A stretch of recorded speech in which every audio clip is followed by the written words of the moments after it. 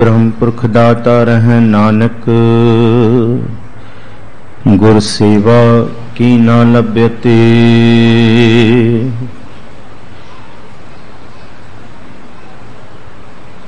ਹਮ ਅਵਗੁਣ ਭਰੇ ਏਕ ਗੁਣ ਨਾਹੀ,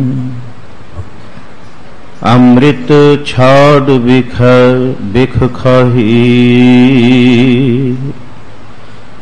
ਮਾਇਆ ਮੋਹ ਪਰਮ ਪੈ ਭੁਲੇ। ਸੁਤ ਦਰ ਸਿਉ ਪ੍ਰੀਤ ਲਗਾਈ। ਇੱਕ ਉਤਮ ਪੰਥ ਸੁਣਿਓ ਗੁਰ ਸੰਗਤ।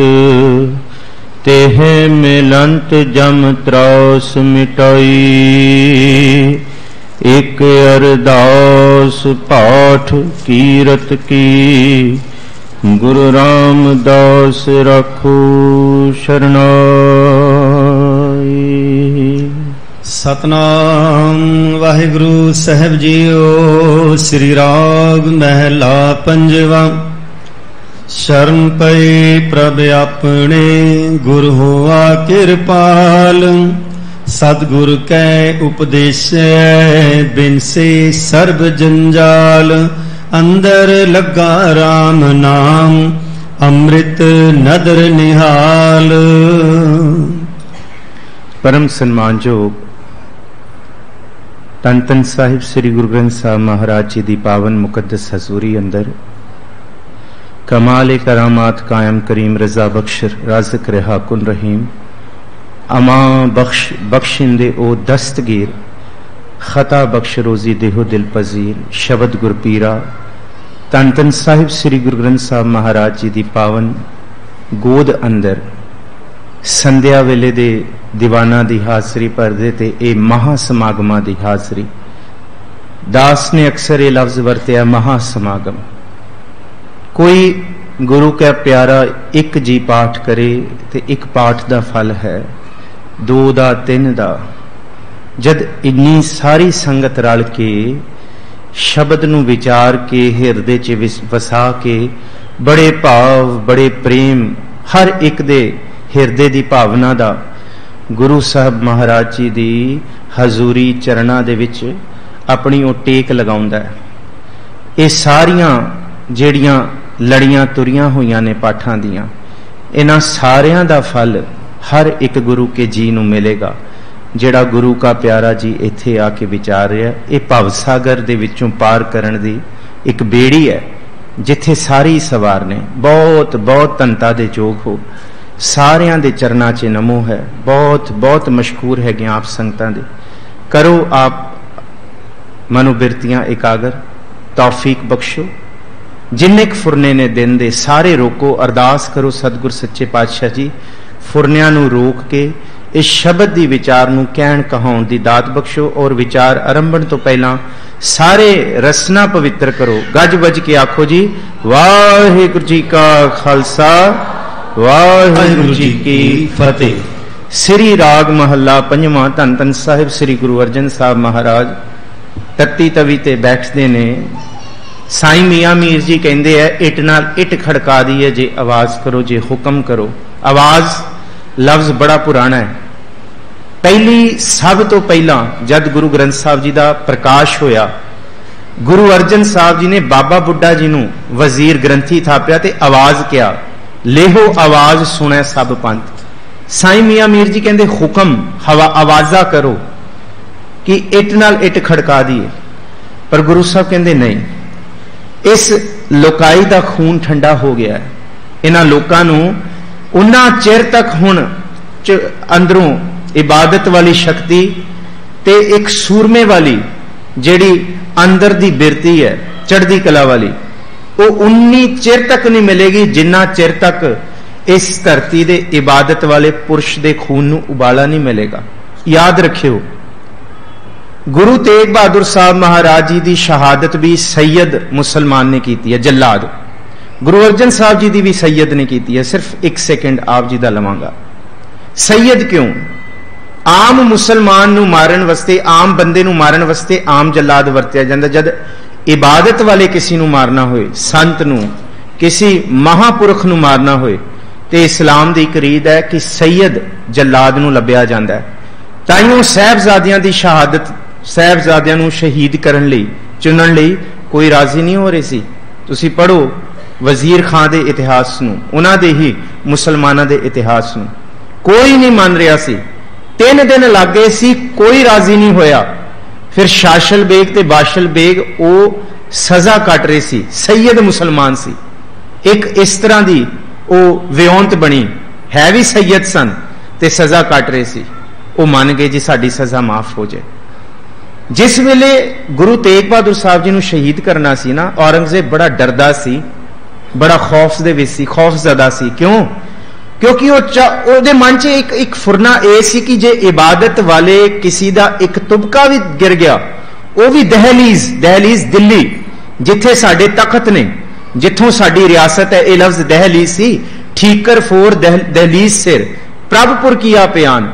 ਕਿ ਲੋਕ ਤੇ ਔਰੰਗਜ਼ੇਬ ਦੇ ਪੈਰਾਂ ਤੇ ਮੱਥੇ ਟੇਕਦੇ ਸੀ। ਗੁਰੂ ਤੇਗ ਬਹਾਦਰ ਸਾਹਿਬ ਨੇ ਆਪਣਾ ਸਿਰ ਦਾ ਠੀਕਰਾ ਉਹਦੇ ਮੂੰਹ ਤੇ ਮਾਰਿਆ। ਇਹਨੂੰ ਕਹਿੰਦੇ ਠੀਕਰ ਫੋਰ ਦਲੀਜ਼ ਸਿਰ, ਪ੍ਰਭਪੁਰ ਕੀਆ ਪਿਆਨ ਉਹਨੂੰ ਡਰ ਸੀ ਕਿ ਇਬਾਦਤ ਵਾਲੇ ਦਾ ਖੂਨ ਨਾ ਆਪਾਂ ਡੋਲੀਏ। ਇਹ ਕੁਰਾਨ ਦੇ ਵਿੱਚ ਹਦੀਸਾਂ 'ਚ ਜ਼ਿਕਰ ਹੈ। ਜੇ ਕਿਸੇ ਅੱਜ ਵੀ ਹਸਨ ਤੇ ਹੁਸੈਨ ਨੂੰ ਸ਼ਹੀਦ ਮੰਨਿਆ ਜਾਂਦਾ, ਕਿਉਂ? ਇਬਾਦਤ ਕਰਕੇ। ਪੋਤਰੇ ਸਨ ਮੁਹੰਮਦ ਸਾਹਿਬ ਦੇ। ਉਹਨੂੰ ਡਰ ਇਹ ਸੀ ਕਿ ਜੇ ਖੂਨ ਦਾ ਤਬਕਾ ਗਿਰੇ, ਉਹਨੇ ਵਿਉਂਤ ਬਣਾਈ, ਕਿਸੇ ਤਰੀਕੇ ਨਾਲ ਡਰਾਵਾ ਦਿੱਤਾ ਜਾਏ। ਕਹਿੰਦੇ ਕੀ ਕਰੀਏ? ਕਹਿੰਦੇ ਜਿੰਨੇ ਸਿੱਖ ਆਏ ਨੇ ਨਾ, ਸਾਰਿਆਂ ਨੂੰ ਵਾਰੀ-ਵਾਰੀ ਕਤਲ ਕਰੋ। ਮਤੀ ਦਾਸ ਨੂੰ ਇਹੋ ਜੀ ਤਸ਼ੱਦਦ ਦਿਓ ਕਿ ਇਹਨਾਂ ਦਾ ਗੁਰੂ ਡਰ ਜਾਏ। ਕਿਹੋ ਜੀ? 58 ਤਰ੍ਹਾਂ ਦੀਆਂ ਖਾਸ ਕਰਕੇ ਤਸ਼ੱਦਦਾਂ ਦਾ ਜ਼ਿਕਰ ਹੈ ਇਸਲਾਮ 'ਚ। ਸਾਰੀਆਂ ਦੀ ਸਾਰੀਆਂ ਸਿੱਖਾਂ ਨਾਲ ਹੋਈਆਂ। ਭਾਵੇਂ ਉਹ ਚਰਖੜੀਆਂ 'ਚ ਚੜਨਾ ਭਾਵੇਂ ਆਰਿਆਂ ਨਾਲ ਚੀਰਿਆ ਜਾਣਾ, ਭਾਵੇਂ ਟੁੱਕ ਦੇਣਾ ਸਰੀਰ ਨੂੰ, ਭਾਵੇਂ ਰੋਮ ਰੋਮ, ਭਾਵੇਂ ਮੂੰਹ 'ਚ ਦਿਲ ਪਾ ਦੇਣਾ ਬੱਚਿਆਂ ਦਾ ਕੱਢ ਕੇ। ਖੈਰ, ਗੁਰੂ ਤੇਗ ਬਹਾਦਰ ਸਾਹਿਬ ਮਹਾਰਾਜ ਜੀ ਦੇ ਸਾਹਮਣੇ ਮਤੀ ਦਾਸ, ਸਤੀ ਦਾਸ, ਦਇਆਲਾ ਇਹ ਡਰਾਇਆ ਗਿਆ ਗੁਰੂ ਤੇਗ ਬਹਾਦਰ ਸਾਹਿਬ ਜੀ ਨੂੰ ਕਿ ਸ਼ਹਾਦਤ ਦਾ ਇਸ ਤਰ੍ਹਾਂ ਦਾ ਮੌਕਾ ਹੀ ਨਾ ਬਣੇ। ਡਰ ਸੀ ਔਰੰਗਜ਼ੇਬ ਦੇ ਮਨ 'ਚ। ਕਹਿੰਦੇ, ਡਰਾਓ। ਮੰਨ ਜਾਣਗੇ, ਤੀਨ ਇਨ ਕਬੂਲ ਲੈਣਗੇ। ਪਰ ਗੁਰੂ ਕਿੱਥੇ ਮੰਨਣ ਵਾਲਾ? ਗੁਰੂ ਕੇ ਸਿੱਖ ਨਹੀਂ ਮੰਨਦੇ। ਉਹ ਹਰ ਤਰ੍ਹਾਂ ਦਾ ਲਾਲਚ, ਡਰਾਵਾ ਦੇ ਕੇ ਕਹਿੰਦੇ, ਗੁਰੂ ਸਾਹਿਬ ਦੇ ਸਿੱਖ ਕਹਿੰਦੇ, ਕਰਵਟ ਭਲਾ ਨਾ ਕਰਵਟ ਤੇਰੀ, ਰਾਗ ਗਰੇ ਸੁਨ ਬੇਨਤੀ ਮੇਰੀ। ਹਉ ਵਾਰੀ ਮੁਖ ਫੇਰ ਪਿਆਰੇ, ਕਰਵਟ ਦੇ ਮੁਕੋ ਕਾਹੇ ਕੋ ਮਾਰੇ। ਆਖਰੀ ਖੁਆਇਸ਼ ਕੀ ਹੈ ਮਤੀਦਾਸ ਗੁਰੂ ਤੇਗ ਬਹਾਦਰ ਸਾਹਿਬ ਜੀ ਦਾ ਪਿੰਜਰਾ ਉਸ ਪਾਸੇ ਪਿਆ ਹੈ। ਪਿੰਜਰਾ ਘੁਮਾਓ, ਗੁਰੂ ਮੈਨੂੰ ਵੇਖੇ, ਮੈਂ ਗੁਰੂ ਨੂੰ ਵੇਖਾਂ, ਇਹ ਆਖਰੀ ਖੁਆਇਸ਼ ਹੈ। ਕਰਵਤ ਦੇ ਮੁਕੋ ਕਾਹੇ ਕੋ ਕਿ ਗੁਰੂ ਦੇ ਦਰਸ਼ਨ ਹੋਣ। ਇਹ ਵਾਲਾ ਜਿਹੜਾ ਸ਼ਬਦ ਹੈ ਨਾ, ਇਹ ਗੁਰੂ ਕੀ ਸ਼ਰਨ ਆਇਆਂ ਦੀ ਸਿਖਰ ਹੈ। ਇਥੋਂ ਆਪਾਂ ਸ਼ੁਰੂ ਕਰਾਂਗੇ ਅੱਜ ਦੇ ਸ਼ਬਦ ਦਾ ਸਫ਼ਰ। ਕਿ ਮਨ ਦੇ ਵਿੱਚ ਇਹੋ ਜੀ ਭਾਵਨਾ ਹੋਏ, ਗੁਰੂ ਸਨਮੁਖ ਹੋਏ। ਗੁਰੂ ਦਾ ਸਿੱਖ, ਜਿਗਿਆਸੂ ਗੁਰੂ ਤੋਂ ਬਿਨਾ ਕਿਤੇ ਹੋਰ ਨਾ ਵੇਖੇ। ਗੁਰੂ ਸਾਹਿਬ ਕਹਿੰਦੇ, ਸ਼ਰਨ ਪਏ ਪ੍ਰਭ ਆਪਣੇ, ਗੁਰ ਹੁਆ ਕਿਰਪਾਲ। ਇਸ ਤੋਂ ਵੱਡੀ ਕਿਰਪਾ ਕੋਈ ਨਹੀਂ ਹੋਏਗੀ, ਜਦ ਤੋਹੀ ਮੋਹਿਤ, ਮੋਹੀ ਤੋਹੀ। ਗੁਰੂ ਰੂਬਰੂ ਹੈ, ਗੁਰੂ ਨਜ਼ਰ ਏ ਪਾਕ ਹੈ, ਨਦਰ ਦੇ ਵਿੱਚ ਹੈ ਗੁਰੂ। ਗੁਰੂ ਸਾਹਿਬ ਕਹਿੰਦੇ, ਸਤਗੁਰ ਕੈ ਉਪਦੇਸਿਆ। ਇਹਨੂੰ ਉਪਦੇਸਿਆ ਪੜਨਾ ਮੇਰੇ ਪਿੱਛੇ ਬੋਲੋ, ਉਪਦੇਸਿਆ ਉਪਦੇਸਿਆ। ਹਾਂਜੀ ਉਪਦੇਸਿਆ ਨਾ ਨਾ ਪੜਿਓ ਇਸ ਸਿਹਾਰੀ ਦੇ ਨਾਲ ਹੈ ਗੁਰੂ ਦਾ ਉਪਦੇਸ਼ ਹੈ ਬਿਨ ਸੇ ਸਰਬ ਜੰਜਾਲ, ਮਨ ਦੇ ਸਾਰੇ ਜੰਜਾਲ ਭੰਨ ਦੇਗਾ ਇੱਕੋ ਹੀ ਇੱਕ ਉਪਦੇਸ਼। ਅੰਦਰ ਲੱਗਾ RAM ਨਾਮ, ਅੰਮ੍ਰਿਤ, ਨਦਰ ਨਿਹਾਲ। ਉਹ ਜਿਹੜਾ ਸਿੱਖ ਆਪਣੇ ਗੁਰੂ ਵੱਲ ਵੇਖੇਗਾ, ਗੁਰੂ ਦੀ ਨਜ਼ਰ ਅੰਦਰੋਂ ਪਏਗੀ ਤੇ ਫਿਰ ਉਹ ਸਿੱਖ ਦੀ ਅੰਮ੍ਰਿਤਮਈ ਦ੍ਰਿਸ਼ਟੀ ਹੋ ਜਾਏਗੀ। ਇਹਨੂੰ ਕਹਿੰਦੇ ਆ ਅਮਰ ਦ੍ਰਿਸ਼ਟ ਹੋਣਾ। ਉਹਦੀ ਅੰਮ੍ਰਿਤ ਤੋਂ ਹੀ ਬੁਰਕ ਹੈ। ਅੰਮ੍ਰਿਤ ਡਿੱਗੇਗਾ ਜਿੱਥੇ ਉਹ ਵੇਖੇਗਾ ਜੀ। ਮਨ ਮੇਰੇ ਸਤਗੁਰ ਸੇਵਾ ਸਾਰ ਕਰੇ ਦਇਆ ਪ੍ਰਭ ਆਪਣੀ ਇੱਕ ਨਿਮਖ ਨਾ ਮਨ ਹੋ ਵਿਸਾਰ। ਬਸ ਇਹ ਖੁਆਇਸ਼ ਹੋਣੀ ਚਾਹੀਦੀ ਰਹਾਉ ਦੀ ਤੁਕਾਂ ਦੀ ਜਿਹੜੀ ਇਹ ਅੰਤਰੀਵ ਭਾਵ ਹੈ ਮੇਰੇ ਮਨ ਮੇਰੇ ਸਤਗੁਰ ਸੇਵਾ ਸਾਰ। ਸਾਰ ਕਹਿੰਦੇ ਇੱਕ ਸਾਰ ਦੇ ਵਿੱਚ ਸੇਵਾ ਹੋਏ। ਅੱਜ ਵੱਧ ਹੋ ਗਈ ਕੱਲ ਘਟ ਹੋ ਗਈ, ਇਸ ਤਰ੍ਹਾਂ ਇਵੇਂ ਮਨ ਡੋਲਦਾ ਹੈ। ਸੰਗਤ ਵੀ ਇਕਸਾਰ ਸੇਵਨਾ ਭਾਵ ਗੁਰੂ ਦਾ ਸਿਮਰਨ, ਗੁਰੂ ਦਾ ਚੇਤਾ।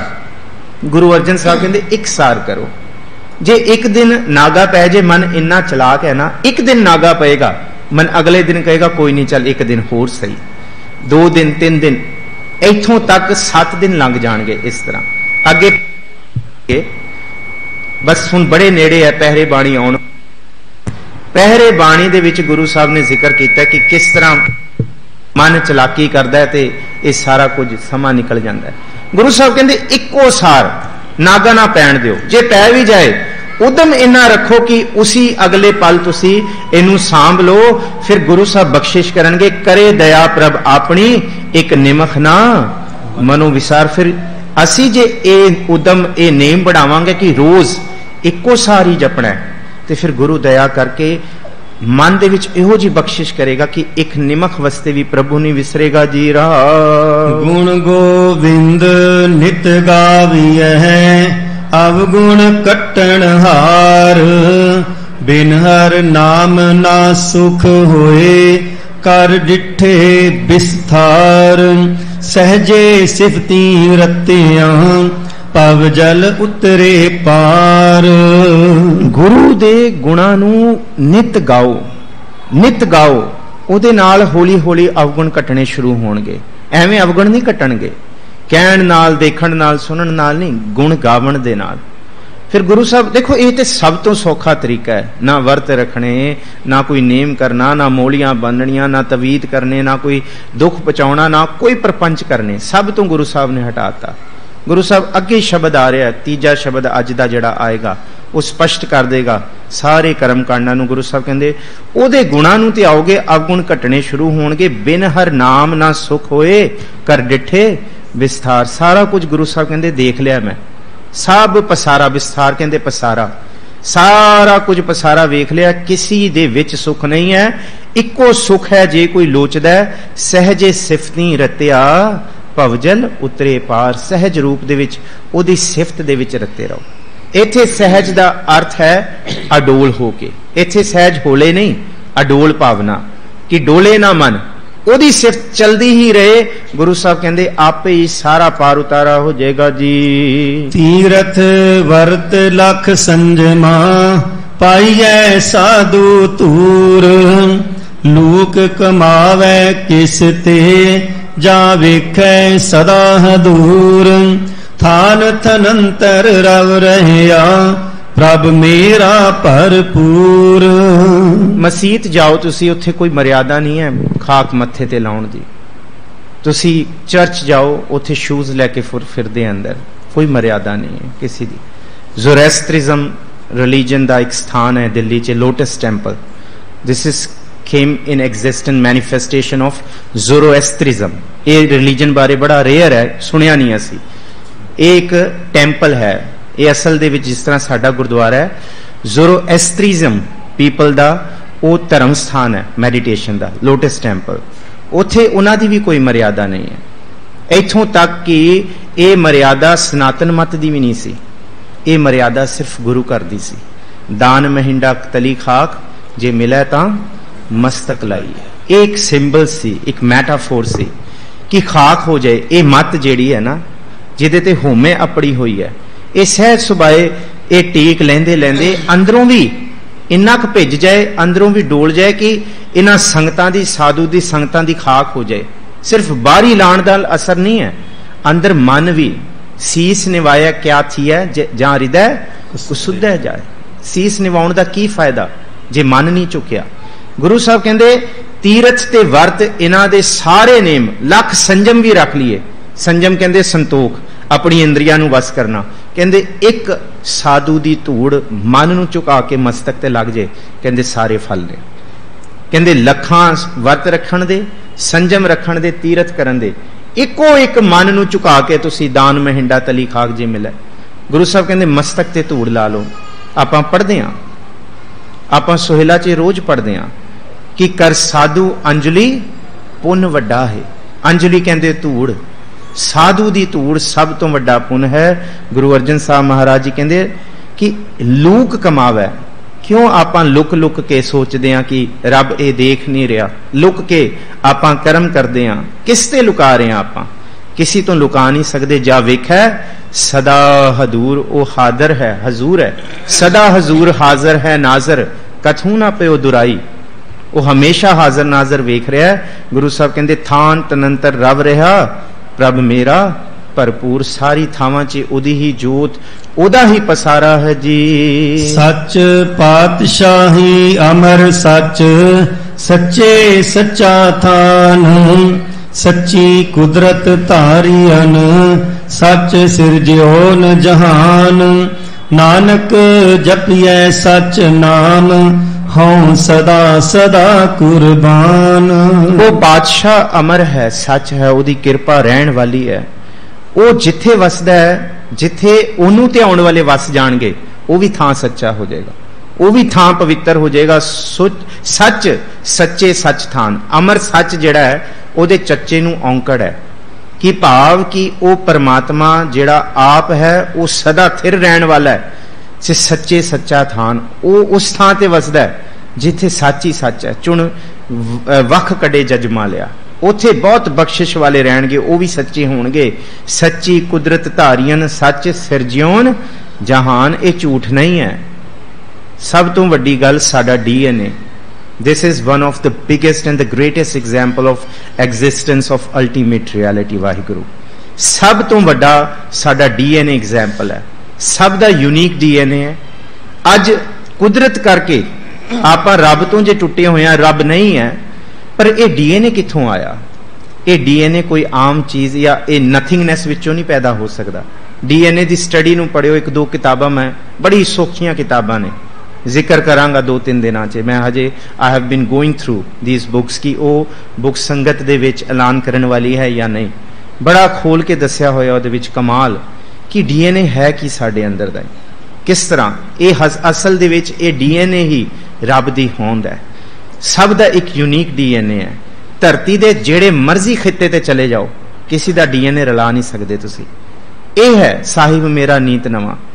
ਪਰਮਾਤਮਾ ਦਾ ਐਕਸਪੀਰੀਅੰਸ ਇੱਥੇ ਜੇ 3 400 ਸੰਗਤ ਕੇ ਗੁਰੂ ਕੇ ਪਿਆਰੇ ਬੈਠੇ ਨੇ, ਤਿੰਨੋਂ 400 ਦਾ ਹੀ ਐਕਸਪੀਰੀਅੰਸ ਵੱਖਰਾ ਹੋਏਗਾ। ਇੱਕ ਦਾ ਦੂਸਰੇ ਨਾਲ ਨਹੀਂ ਰਲੇਗਾ। ਸਾਹਿਬ ਮੇਰਾ ਨੀਤ ਨਵਾਂ। 15 ਭਗਤਾਂ ਦਾ ਐਕਸਪੀਰੀਅੰਸ ਵੱਖਰਾ ਹੈ ਗੁਰੂ ਗ੍ਰੰਥ ਸਾਹਿਬ ਜੀ ਦੀ ਬਾਣੀ 'ਚ। ਗੁਰੂ ਸਾਹਿਬ ਕਹਿੰਦੇ, ਸਾਰੀ ਕੁਦਰਤ ਨੂੰ ਉਹਨੇ ਧਾਰਿਆ ਸਾਰੇ ਜਹਾਨ ਨੂੰ ਉਹਨੇ ਸਿਰਜਿਆ ਨਾਨਕ ਜਪੀਐ, ਸਚ ਨਾਮ ਹਉ, ਸਦਾ ਸਦਾ ਕੁਰਬਾਨ। ਜਿਨੇ ਸਭ ਕੁਝ ਹੀ ਬਣਾ ਕੇ ਧਰਤਾ ਇੱਥੇ, ਸਾਰਾ ਕੁਝ ਹੀ ਦੇਤਾ ਸਭ ਕੁਝ ਹੱਥ ਦੇ ਵਿੱਚ ਰਿਜ਼ਕ ਮੂੰਹ 'ਚ ਮਿਲ ਰਿਹਾ ਉਸ ਤੋਂ ਬਲਹਾਰ ਤੇ ਕੁਰਬਾਨ ਕਿਉਂ ਨਾ ਜਾਈਏ ਜੀ? ਸ੍ਰੀ ਰਾਗ ਮਹਿਲਾ ਪੰਜਵਾ, ਉਦਮ ਕਰ ਹਰ ਜਾਪਣਾ ਵਡ ਭਾਗੀ ਧਨ ਖਾਟ। ਸੰਤ ਸੰਗ ਹਰ ਸਿਮਰਣਾ ਮਲ ਜਨਮ ਜਨਮ ਕੀ ਕਾਟ। ਗੁਰੂ ਅਰਜਨ ਸਾਹਿਬ ਮਹਾਰਾਜ ਜੀ ਦਾ ਇਹ 17ਵਾਂ ਸ਼ਬਦ ਸ੍ਰੀ ਰਾਗ ਸਿਰਲੇਖ ਹੈ। ਗੁਰੂ ਸਾਹਿਬ ਕਹਿੰਦੇ, ਬਸ ਹੁਣ ਛੱਡ ਦਿਓ ਆਲਸ। ਹੁਣ ਛੱਡ ਦਿਓ ਦਲਿਦਰਤਾ। ਅਸੀਂ ਹੁਣ ਤਿਆਗ ਦਈਏ ਸਭ ਕੁਝ। ਸੋਏ ਰਹੀ ਪ੍ਰਭ ਖਬਰ ਨਾ ਜਾਣੀ, ਭੌਰ ਪਿਆ ਬਹੁਰ ਪਛਤਾਨੀ। ਗੁਰੂ ਸਾਹਿਬ ਕਹਿੰਦੇ ਕਿ ਜਿਹੜੀ RAM ਨਾਮ ਜਪਣ ਦੀ ਬਿਰਤੀ ਇਹ ਸਮਾਂ ਹੈ ਨਾ, ਇਹਦੇ ਲਈ ਆਲਸ ਨਾ ਕਰੋ। ਪ੍ਰਭ ਮਿਲਬੇ ਕੀ ਆਲਸਾ ਤਾਤੇ ਆਲਸ ਕਹਾ ਕਰੋਰੀ। ਜਦ ਸਾਰਾ ਕੁਝ ਹੀ ਦੇਤਾ ਪਿਓ ਦਾਦੇ ਦਾ ਖਜ਼ਾਨਾ ਮਿਲ ਗਿਆ। ਜੇ ਖਜ਼ਾਨਾ ਨਾ ਮਿਲਿਆ ਹੁੰਦਾ, ਲੱਭਣਾ ਪੈਂਦਾ, ਕੁਝ ਕਰਨਾ ਪੈਂਦਾ। ਇੱਥੇ ਤੇ ਰਤਨ ਲਾਲ ਜਾਕਾ ਕਛੂ ਨਾ ਮੋਲ ਭਰੇ, ਭੰਡਾਰ, ਅਖੂਟ, ਅਤੋਲ, ਕਰਨਾ ਕੀ ਹੈ? ਸਿਰਫ ਇੰਨਾ ਹੀ ਕਰਨਾ ਉਦਮ ਕਰਕੇ। ਖਾਵੋ ਖਰਚੋ, ਰਲ ਮਿਲ ਭਾਈ, ਟੋਟ ਨਾ ਆਵੇ। ਵੱਧ ਦੋ ਜਾਈ, ਇਹਨੇ ਵਧਿਆ ਜਾਣਾ ਖਜ਼ਾਨੇ ਨੇ। ਗੁਰੂ ਸਾਹਿਬ ਕਹਿੰਦੇ, ਉਦਮ ਕਰੋ ਹੁਣ। ਉਸ ਪ੍ਰਭੂ ਦੇ ਨਾਮ ਨੂੰ ਉਦਮ ਕਰ ਹਰ ਜਪਣਾ। ਵੱਡ ਭਾਗੀ, ਧਨ ਖਾਟ, ਹੁਣ ਮਾੜੇ ਭਾਗਾਂ ਵਾਲਾ ਨਾ ਰਹੋ। ਹੁਣ ਵੱਡੇ ਭਾਗ ਵਾਲਾ ਬਣ ਜਾਓ। ਸਭ ਕੁਝ ਹੱਥ ਦੇ ਵਿੱਚ ਹੈ। ਮਾੜੇ ਭਾਗ ਮਾੜੇ ਭਾਗ, ਇਹਦਾ ਰਟਨ ਲਾਉਣਾ ਛੱਡ ਦਿਓ ਹੁਣ ਗੁਰੂ ਦੇ ਦਰ ਤੇ ਆਓ, ਨਾਮ ਜਪੋ। ਗੁਰੂ ਸਾਹਿਬ ਕਹਿੰਦੇ, ਵੱਡ ਭਾਗੀ ਹੋ ਜਾਵਾਂਗੇ ਅਸੀਂ ਸਾਰੇ ਇਹ ਲਫ਼ਜ਼ ਹੀ ਸਾਡੇ ਜ਼ਿਹਨ ਵਿੱਚੋਂ ਵਿਸਰ ਜਾਏਗਾ ਕਿ ਹੁਣ ਮਾੜੇ ਭਾਗ ਨੇ, ਕੋਈ ਮਾੜੇ ਭਾਗ ਨਹੀਂ। ਵੱਡੇ ਭਾਗਾਂ ਦੇ ਵਿੱਚ ਤਬਦੀਲ ਕਰ ਦਿੱਤਾ ਗੁਰੂ ਸਾਹਿਬ ਕਹਿੰਦੇ ਇਸ ਤਰ੍ਹਾਂ ਤੁਸੀਂ ਉਸ ਧਨ ਖਾਟ ਖਟੋ ਉਹਨੂੰ ਹਿਰਦੇ 'ਚ ਵਸਾਓ ਕਰੋ ਕੀ ਸੰਤ ਸੰਗ। ਇਹਨੂੰ ਸਤ ਸੰਗ ਨਾ ਸੰਤ ਸੰਗ। ਉੱਤੇ ਟਿੱਪੀ ਹੈ ਸੰਤ ਸੰਗ ਹਰ ਸਿਮਰਨਾ ਮਲ ਜਨਮ ਜਨਮ ਕੀ? ਕਾਟ ਸੰਤ ਸੰਗ ਦੇ ਵਿੱਚ ਆ ਕੇ ਇਹੀ ਸੰਤ ਸੰਗ ਹੈ। ਇਹਦੇ ਵਿੱਚ ਕੁਝ ਨਹੀਂ ਪਤਾ ਕਿੰਨੇ ਕੁ ਬਖਸ਼ਿਸ਼ ਵਾਲੇ ਬੈਠੇ ਹੋਏ ਨੇ। ਕਿੰਨਿਆਂ ਦੀ ਲਿਵ ਸੁਰਤ ਜੁੜੀ ਹੋਏਗੀ। ਬਹੁਤ ਸਾਰੇ ਅਸੀਂ ਸਾਰੀ ਤਰ ਜਾਾਂਗੇ। ਉਹਦੇ ਜੁੜੇ ਹੋਣ ਕਰਕੇ ਸਾਨੂੰ ਗੁਰੂ ਸਾਹਿਬ ਕਹਿੰਦੇ ਸਾਰੇ ਕਿਲ ਵਿਖ ਪਾਪ ਜਨਮ ਜਨਮ ਦੇ ਕੱਟੇ ਜਾਣਗੇ ਜੀ। ਮਨ ਮੇਰੇ RAM ਨਾਮ ਜਪ ਜਾਪ ਮਨ ਇੱਛੇ ਫਲ ਪੁੰਚ ਤੂੰ ਸਭ ਚੂਕੈ ਸੋਗ ਸੰਤਾਪ ਰਹਾਉ। RAM ਦਾ ਜਾਪ ਕਰੋ ਜਿਹੜਾ ਰਮਿਆ ਹੋਇਆ ਹਰ ਇੱਕ ਜੀਵ ਦੇ ਵਿੱਚ ਜਪ ਜਾਪ ਨਿਤਾ ਹੀ ਉਦਮ ਕਰਕੇ ਉਹਨੂੰ ਧਿਆਓ। ਸਿਰਫ ਇਹ ਨਹੀਂ ਕਿ ਧਰਮ ਦੇ ਮਾਰਗ ਤੇ ਤੁਸੀਂ ਪੂਜੇ ਜਾਂ ਅਸੀਂ ਉੱਚੇ ਹੋ ਜਾਾਂਗੇ ਗੁਰੂ ਸਾਹਿਬ ਕਹਿੰਦੇ, ਪਹਿਲਾਂ ਤੇ ਮਨ ਇੱਛੇ ਫਲ ਮਿਲਣਗੇ ਹੀ ਮਿਲਣਗੇ। ਜੋ ਮਨ 'ਚ ਫੁਰਨਾ ਗੁਰੂ ਨੇ ਸਨਮੁਖ ਰੱਖ ਦੇਣਾ ਲੈ ਭਗਤਾ, ਹੋਰ ਦੱਸ ਤੂੰ ਕੀ ਚਾਹੀਦਾ? ਇੱਥੋਂ ਤੱਕ ਖੇੜ ਹੈ ਕੱਲ ਜ਼ਿਕਰ ਕੀਤਾ ਸੀ ਭਗਤ ਨਾਮਦੇਵ ਜੀ ਦਾ, ਕਿ ਗੁਰੂ ਆਪ ਬੁਲਾਉਂਦਾ ਹੋ ਜੀ, ਕਿਵੇਂ ਆਉਣਾ ਹੋਇਆ, ਦੱਸੋ? ਜੋ ਜੋ ਕਹੋਗੇ, ਮੂੰਹ ਤੋਂ ਬਚਨ ਕਰੋਗੇ, ਉਹ ਪੂਰਾ ਹੋਏਗਾ। ਹੋ ਜੀ, ਦੱਸੋ ਕਿਵੇਂ ਆਣਾ ਆਇਆ ਉਹਨਾਂ ਨੇ ਇੰਨਾ ਹੀ ਮੰਗਿਆ, ਆਲਾ ਤੇ ਨਿਵਾਰਨਾ ਜਮ ਕਰਨ। ਪਰ ਹਾਲਾਂਕਿ ਭਗਤਾਂ ਨੇ ਸਾਰਾ ਕੁਝ ਪਿੱਛੇ ਮੰਗਿਆ ਆਰਤੀ ਤੇ, ਕਿ ਗਊ ਭੈਸ ਮੰਗੋ ਲਾਵੇਰੀ ਇੱਕ ਤਾਜਨ ਤੁਰੀ ਚੰਗੇਰੀ ਘਰ ਕੀ ਗੀਹਨ ਚੰਗੀ। ਇੱਥੇ ਤੋਂ ਖਾਟ ਮੰਗੋ ਚੌਪਾਈ, ਸਿਰ ਆਨਾ ਅਵਰ ਤਲਾਈ। ਕਿੰਨੀ ਛੋਟੀਆਂ ਚੀਜ਼ਾਂ ਨੇ, ਸਰਾਣਾ ਵੀ ਦੇ ਦਿਓ, ਤਲਾਈ ਵੀ ਦੇ ਦਿਓ, ਖਾਟ, ਬੈੱਡ ਵੀ ਦੇ ਦਿਓ ਵਧੀਆ। ਇਹ ਕਿੰਨਾ ਸੂਖਸ਼ਮ ਹੈ, ਮੰਗਣਾ ਗੁਰੂ ਤੋਂ ਹੈ, ਕਿਉਂ ਨਾ ਮੰਗੀਏ? ਕਿਉਂ ਪਿੱਛੇ ਹਟੀਏ? ਗੁਰੂ ਅਰਜਨ ਸਾਹਿਬ ਕਹਿੰਦੇ, ਖੁੱਲ ਕੇ ਮੰਗੋ, ਦਿਲ ਖੋਲ ਕੇ ਉਸ ਗੁਰੂ ਤੋਂ ਮੰਗੋ। ਜੇ ਇਸ ਭਾਵਨਾ 'ਚ ਮੰਗੋਗੇ ਤੇ ਸਾਰੇ ਫਲ ਪੁੰਚਣਗੇ ਮਿਲਣਗੇ, ਰੱਜ ਰੱਜ ਕੇ। ਤੂੰ ਸਭ ਚੁੱਕੈ, ਸੋਗ ਸੰਤਾਪ, ਸਭ ਸੋਗ ਸੰਤਾਪ ਚੁੱਕੇ ਜਾਣਗੇ ਜੀ, ਰਹਾਓ। ਜਿਸ ਕਾਰਨ ਤਨ ਧਾਰਿਆ, ਸੋ ਪ੍ਰਭ ਡਿਠਾ ਨਾਲ। ਜਲ ਥਲ ਮਹੀਲ ਪੂਰਿਆ ਪ੍ਰਭ ਆਪਣੀ ਨਦਰ ਨਿਹਾਲ। ਗੁਰੂ ਸਾਹਿਬ ਕਹਿੰਦੇ, ਜਿਸ ਕਾਰਨ ਤੈਨੂੰ ਇਸ ਧਰਤੀ ਤੇ ਭੇਜਿਆ ਸੀ, ਇੱਕ ਮਨੋਰਥ ਸੀ, ਇੱਕ ਕੁਝ ਵੱਡਾ ਕਰਨ ਦਾ। ਸਿਰਫ ਧਰਮ ਦੇ ਮਾਰਗ ਤੇ ਪਹਿਲਾਂ ਵੀ ਜ਼ਿਕਰ ਕਰਨਾ ਹੈ, ਕਰਦਾ ਆਇਆ ਮੈਂ ਔਰ ਕਰਦਾ ਰਵਾਂਗਾ ਇਸ ਗੱਲ ਤੇ। ਕਿ ਪਰਮਾਤਮਾ ਦੀ ਪ੍ਰਾਪਤੀ ਸਿਖਰ ਹੈ, ਪਰ ਉਸ ਸਿਖਰ ਤੇ ਪਹੁੰਚਣ ਤੋਂ ਪਹਿਲਾਂ ਬੜੇ ਸਾਰੇ ਪੜਾਅ ਇੱਕ ਮਨੁੱਖ ਦੀ ਜ਼ਿੰਦਗੀ ਦੇ ਵਿੱਚ ਨੇ। ਉਹ ਦੁਨਿਆਵੀ ਪੜਾਅ ਵੀ ਅਸੀਂ ਕੋਈ ਬੁੱਧ ਨਹੀਂ ਹੈਗੇ ਆ ਖਿਮਾ ਬਖਸ਼ਿਓ। ਅਸੀਂ ਕੋਈ ਸੰਨਿਆਸੀ, ਤਪੀ, ਸਿੱਧ ਨਹੀਂ ਹੈਗੇ ਆ ਕਿ ਆਪਾਂ ਛੱਡ ਕੇ ਸਭ ਕੁਝ ਭਾਜੀਏ ਰਿਸਪੌਂਸਿਬਿਲਟੀਆਂ ਗੁਰੂ ਸਾਹਿਬ ਨੇ ਰਿਸਪੌਂਸਿਬਿਲਟੀਆਂ ਦੇ ਵਿੱਚ ਸਾਰਾ ਕੁਝ ਦਿੱਤਾ। ਕਿੰਨੇ ਕੁ ਉਦਾਹਰਣ ਮੈਂ ਤੁਹਾਡੇ ਸਾਹਮਣੇ ਰੱਖਾਂ? ਭਾਈ ਮੰਜ ਵਰਗਾ ਉਦਾਹਰਣ ਰੱਖਾਂ। ਕਿੰਨੇ ਕੁ ਗੁਰੂ ਕੇ ਸਿੱਖ ਨੇ ਜਿਹੜੇ ਵਪਾਰੀ ਹੋਏ ਨੇ, ਤਗੜੇ ਤੋਂ ਤਗੜੇ, ਜਿਨ੍ਹਾਂ ਨੇ ਕੁਛ ਨਾ ਕੁਛ ਕੁਛ, ਹੁਣ ਜਿਸ ਤਰ੍ਹਾਂ ਗੁਰੂ ਹਰ ਰਾਏ ਸਾਹਿਬ ਮਹਾਰਾਜ ਜੀ ਦਾ ਜ਼ਿਕਰ ਨਹੀਂ ਕਰਦੇ ਕਦੀ ਵੀ। ਗੁਰੂ ਹਰਿ ਸਾਹਿਬ ਮਹਾਰਾਜ ਜੀ ਦੇ ਸਿੱਖ ਸਾਇੰਟਿਸਟ ਹੋਏ ਨੇ, ਕਿੰਨੇ ਕੁ? 9 ਲੱਖਾ ਬਾਗ ਦੇ ਵਿੱਚ ਦਾਰਾ ਸ਼ਕੋ ਦੀ ਜਿਹੜੀ ਦਵਾਈ ਬਣਾਈ ਗਈ ਹੈ, ਗੁਰੂ ਹਰ ਰਾਏ ਸਾਹਿਬ ਮਹਾਰਾਜ ਜੀ ਦੀ ਟੀਮ ਸੀ ਸਾਇੰਟਿਸਟ ਦੀ ਪੂਰੀ। ਕੋਈ ਅਸੀਂ ਸਟੱਡੀ ਨਹੀਂ ਕੀਤਾ, ਐਨਾਲਿਸਿਸ ਨਹੀਂ ਕੀਤਾ, ਉਹ 9 ਲੱਖਾ ਬਾਗ ਤਬਾਹ ਕਰਕੇ ਰੱਖਤਾ ਸੀ, ਸਾਡੀ ਬਦਕਿਸਮਤੀ ਹੈ। 9 ਲੱਖ ਜੜੀ ਬੂਟੀਆਂ ਕੁਝ ਕਹਿੰਦੇ ਕੁਝ ਕਹਿੰਦੇ 9 ਲੱਖ ਦੀ ਕੀਮਤ ਦਾ ਬਾਗ ਸੀ। ਹਾਥੀ, ਘੋੜੇ, ਸ਼ੇਰ, ਬੱਕਰੀਆਂ ਇਕੱਠੇ ਰਹਿੰਦੇ ਸੀ ਉੱਥੇ। ਐਕਸਪੈਰੀਮੈਂਟ ਹੁੰਦੇ ਸੀ ਦਿਨ ਰਾਤ। ਸਭ ਤੋਂ ਪਹਿਲਾਂ ਡੀ ਐਡਿਕਸ਼ਨ ਸੈਂਟਰ ਪੰਜਾਬ ਦੀ ਧਰਤੀ ਉੱਤੇ। ਉਹ ਗੁਰੂ ਹਰਰਾਏ ਸਾਹਿਬ ਮਹਾਰਾਜ ਜੀ ਨੇ ਡੀ ਐਡਿਕਸ਼ਨ ਕਹਿੰਦੇ ਆ, ਨਸ਼ਾ ਮੁਕਤੀ ਕੇਂਦਰ। ਨਸ਼ੇ ਤੋਂ ਛਡਾਉਣ ਲਈ ਦਵਾਈਆਂ ਗੁਰੂ ਹਰਰਾਏ ਸਾਹਿਬ ਮਹਾਰਾਜ ਜੀ ਨੇ ਉਦਮ ਕੀਤਾ ਸੀ। ਉਹ ਸੁਚੇਤ ਸੀ ਇਹਨਾਂ ਚੀਜ਼ਾਂ ਤੋਂ। ਇਸ ਤੋਂ ਬਾਅਦ ਉਹਨਾਂ ਨੇ ਦਾਰਾ ਸ਼ਿਕੋ ਨੂੰ ਚਾਰ ਵੱਡੇ ਜ਼ਹਿਰ ਮੰਨੇ ਜਾਂਦੇ ਸੀ।